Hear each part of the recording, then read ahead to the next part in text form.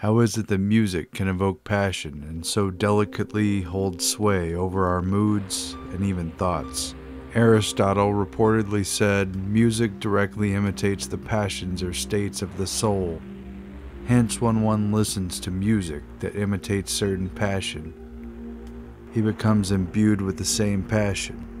In short, if one listens to the wrong kind of music, he will become the wrong kind of person. But conversely, if he listens to the right kind of music, he'll tend to become the right kind of person. When is music just great and passionate and a song that speaks to the soul? And when is music being used to manipulate, to manage, to market, and to get everyone in line? It seems that good music just grips you and makes you want to listen to it, and I've always wondered why. It is perhaps no surprise that music can alter mood and emotion, even to the point of mind control. An article in 2012 from the Scientific American, a mainstream publication with general establishment credentials, published The Power of Music Mind Control by Rhythmic Sound. It reads You walk into a bar music is thumping, all heads are bobbing, feet tapping in synchrony. Somehow the rhythmic sound grabs control of the brains of everyone in the room, forcing them to operate simultaneously and perform the same behaviors in synchrony.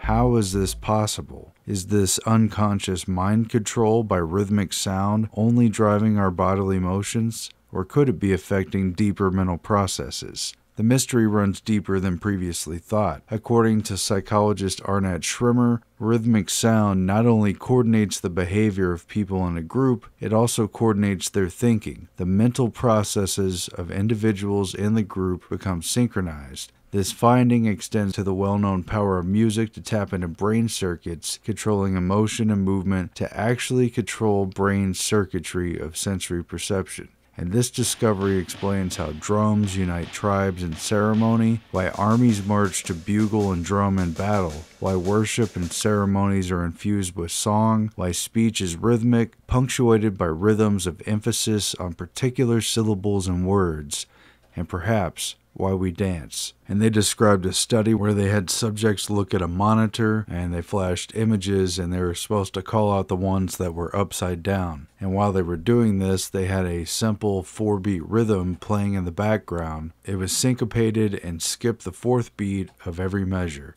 And what they found was that the subjects much more quickly identified this inverted image when it was shown in the missing drum beat of the four beat rhythm.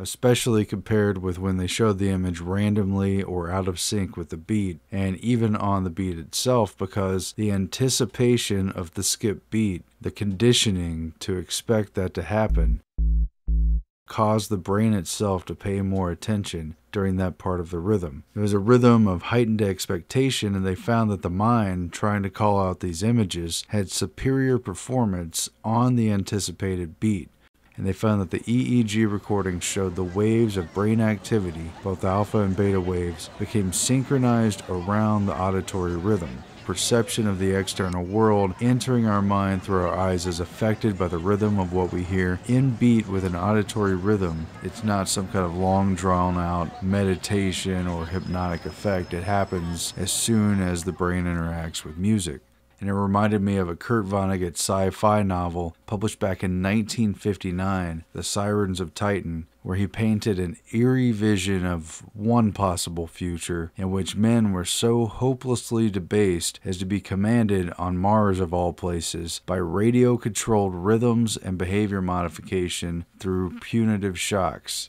And the passage talks about how the men had marched to the parade ground to the sound of a snare drum. The snare drum had this to say to them rented a tent, a tent, a tent, rented a tent, a tent, a tent, rented a tent, rented a tent, rented a rented a rented a tent.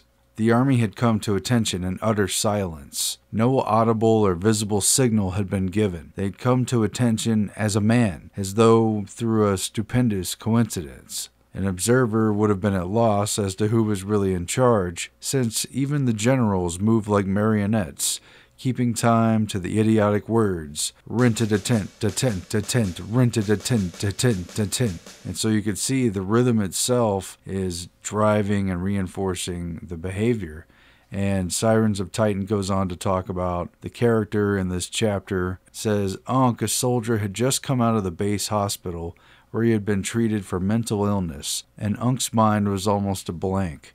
At the hospital, they told him what his sergeant's name was, what a sergeant was at all. They even had to explain to Unk that there was a radio antenna under the crown of his skull, and that it would hurt him whenever he did something a good soldier would never do. The antenna would also give him orders and furnish drum music to march to. They said that not just Unk, but everybody had an antenna like that.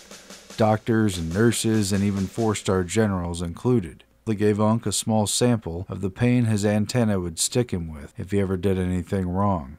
Back on Earth, things aren't quite that bad, at least not yet, but the possibilities are staggering.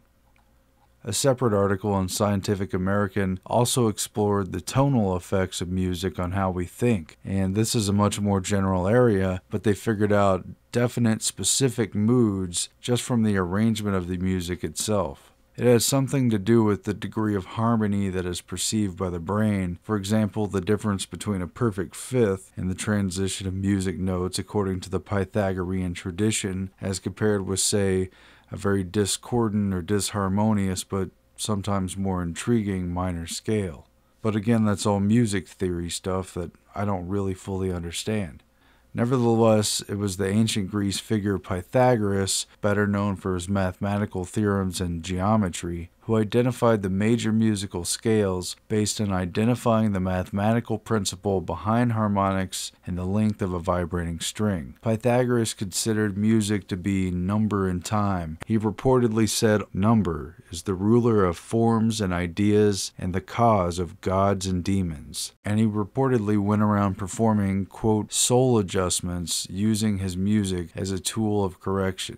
There are numerous accounts of Pythagoras using music as a tool of intervention to calm enraged swordsmen, crossed lovers ready to kill their rivals, and drunken pyromaniacs determined to burn down the homes of women who rejected their advances. In each case, a stirring Phrygian mode of music was found playing at the scene, and Pythagoras arranged to switch the music to a slow and dirge like spondaic mode, proving the rhythm had the power to calm them usually instantaneously.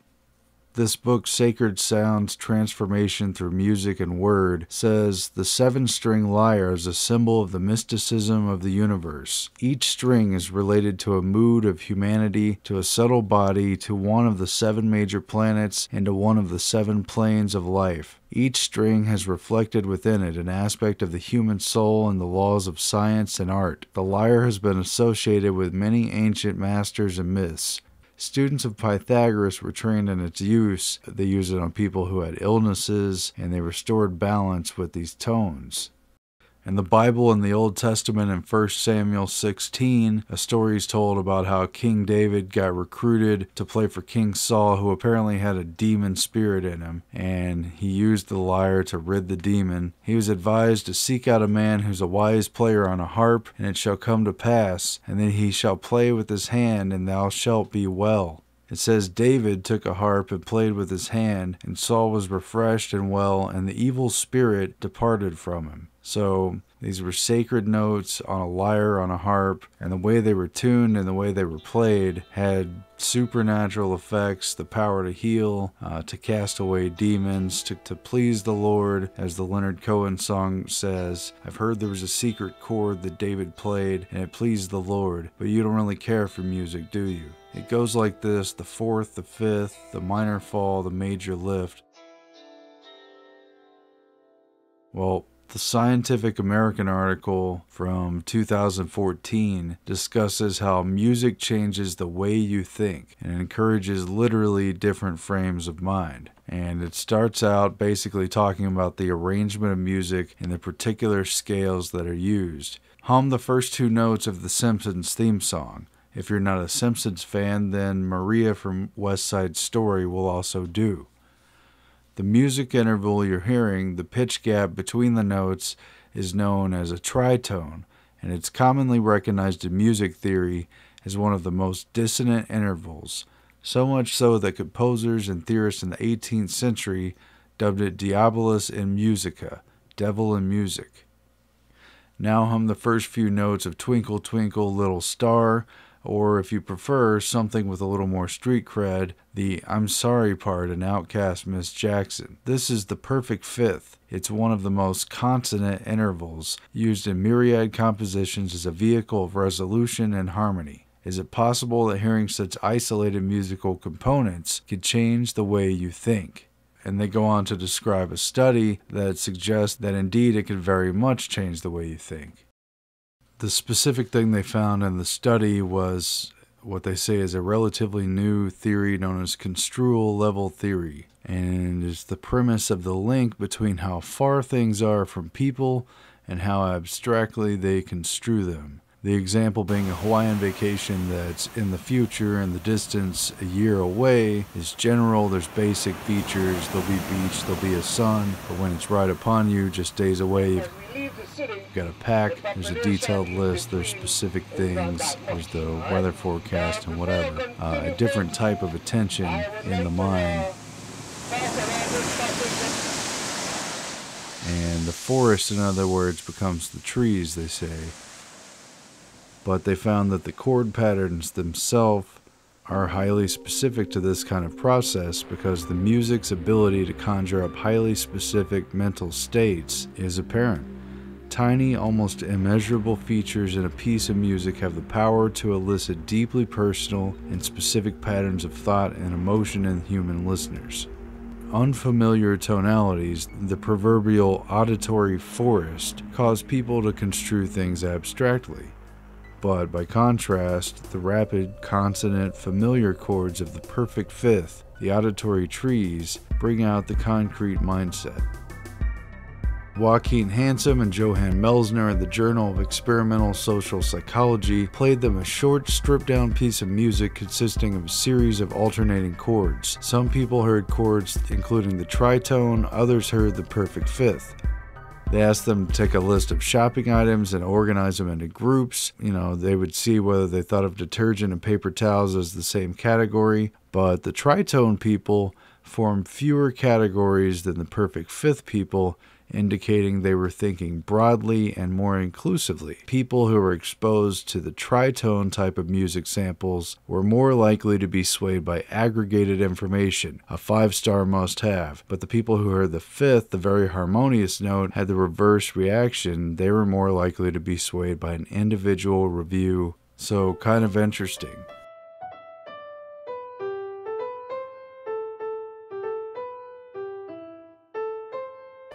And this book, The Sacred Sounds Transformation Through Music and Word, it has a list of responses to musical harmonies that have been figured out over the years. And a lot of these meanings are also symbolic. They've even been used ritualistically, magically, and they talk about how the perfect octave, I think basically the middle C, it has a feeling of rest. There's a union between the male and the female sides. The fifth, which is a G and a C, stimulates feelings of movement and power of new life coming forth, a specific sense of rebirth. Whereas the third, which has an E and a C, awakens compatibility and resonance, and it has a quote, magical quality to storytelling and embellishment, whatever that means. The fourth has an F and a C, and it announces something new. It specifically hints at an entrance. It awakens feelings of being controlled. It touches at the heart and rings it, but it can make some people feel uneasy. The seventh, which has a B and a C, awakens feelings of distance and the need to resolve things. It creates anticipation and drama and the need for direction. And there's also the minor third with an E flat to a C. It specifically carries sadness and depression and a, a, vagueness of direction, a disharmony, and so forth and so on. These modes were all worked out back in the Greece days, back with Pythagoras, and then many of them were picked up again by the church, but several of them were not used very often because either they had a taboo quality to them or they were only appropriate for very specific purposes. And so a lot of stuff ended up just coming out in the basic major and minor key And a lot of these other modes were forgotten over the past couple hundred years up until the rise of rock music in the 50s, 60s, 70s, and so forth. That a lot of particular movements were underway during this time period to use the music scene as a radical reshaper of the youth culture, to have people reveling in freedom and individuality, but to also have them behaving in ways that are both predictable and useful to the powers that be, who incredibly turned loose on a whole generation not only copious amounts of mind altering drugs that had just been tested by the government under secret human experimentation, but also modes of music which had been established thousands of years ago but were rarely used, whose particular arrangements were known to stir up things like ecstasy, lust, and beastly behavior. Uh, I guess the music in the background, I wasn't even conscious of the music, but I could actually hear the crowd, and uh, it gave me a big, uh, big feeling inside. You know? Anger and violence could be aroused by the music, or alternately, calm down. And one mode in particular is so disharmonious that it has long been believed to be of the devil. Distortions of perception and thinking. That's it's kind of melting together, you know. Melting together and then coming apart and vibrating but it's all moving. That's what's incredible.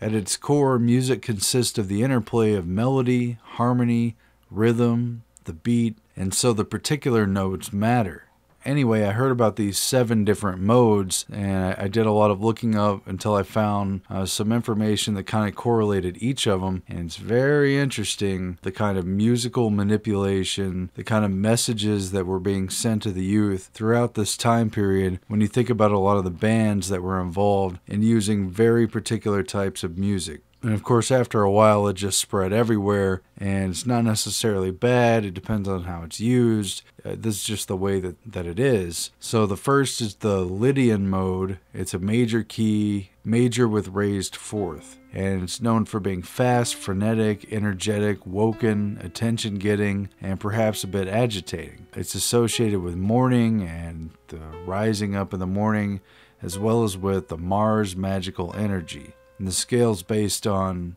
all white keys F, G, A, B, C, D, E, F.